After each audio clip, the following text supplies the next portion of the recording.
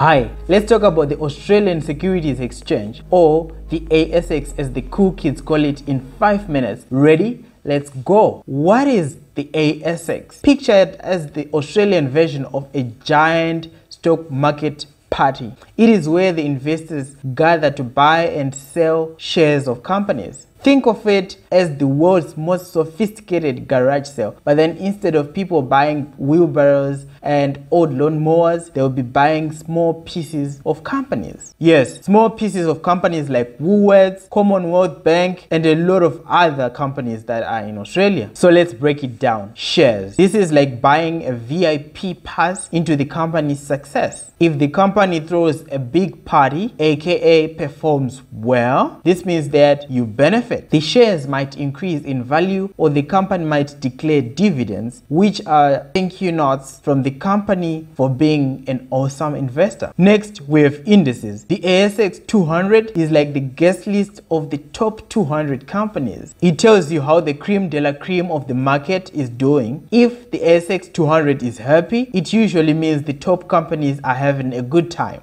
Now let's talk about ETFs, exchange traded funds are like a buffet tray of investments. Instead of choosing just one dish, uh, I mean one stock, you get a little bit of everything. It's like having a little taste of the entire market without committing to one company's party. Then we have REITs, real estate investment trusts. They are like real estate agents, but instead of selling houses, they own and manage them. Investing in REITs is like being part of a big property owning club without having to deal with the leaky faucets yourself. So how do you get started? First, pick a broker, kind of choosing a trusted friend to help you navigate the party. Make sure they fit your style, whether you are a high roller or just starting. Then set your goals, whether you're looking for a long-term relationship or a fun one-night stand with your investments. With long-term relationship, referring to holding your shares or your investments for a long period of time for growth and dividends, whereas a one-night stand referring to investing for quick profit and returns. Understanding this helps you to choose the right strategy.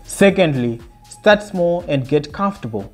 It's like testing the water before diving into the deep end. Diversification is key. Spread your investments around to avoid putting your eggs in one basket, or in this case, putting all your favors in one goodie bag. And that's your quick guide to the ASX. If you enjoyed this video, give it a thumbs up. Subscribe and hit the bell icon so that you won't miss more on our financial fun.